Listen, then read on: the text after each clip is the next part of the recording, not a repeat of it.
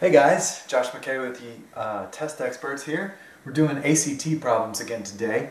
Um, today's problem says the statement below, the statements below are true. Um, now, when it says something like this, let's don't argue with the statements. Just believe them to be true. All insects that are attracted to honey are ants. Insect I is not an ant, and insect J is attracted to honey. I on this, and then and then the question says which of the following statement, which of the following statements is necessarily true.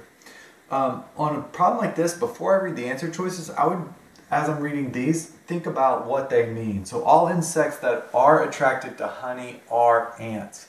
So if you are not attracted to honey, you're not an ant. Um, things like that. Insect I is not an ant. Insect J is attracted to honey.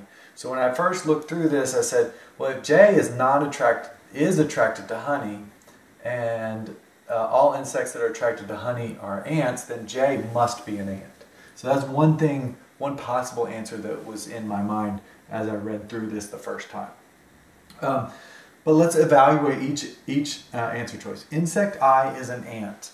Well, stop there. Insect I is not an ant. So anything that says insect I is an ant is wrong. That rules out both A and B. Look, insect I is an ant. So these two are wrong. Insect I is attracted to honey. Now do we know that? We know all insects that are attracted to honey are ants. Insect I is not an ant, so we don't know this for sure, definitely.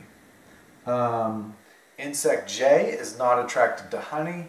Uh, insect J is attracted to honey is what this says, so this is just directly contradicting the statement here. So it's definitely out. And then insect J is an ant. That's the one that I had in my mind that was probably the right answer to begin with. And so that is going to be the right answer here.